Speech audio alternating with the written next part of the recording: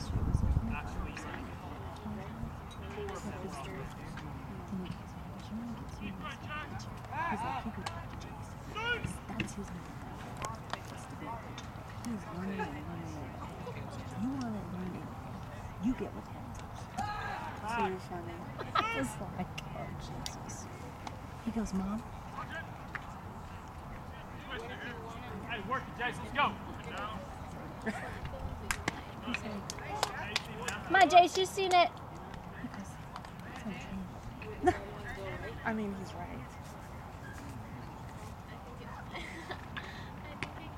He's definitely right there.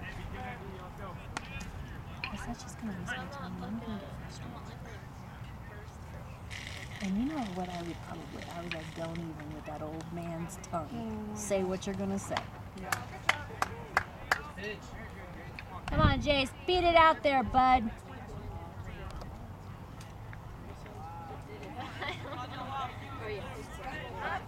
Smack center fielder right in the eye.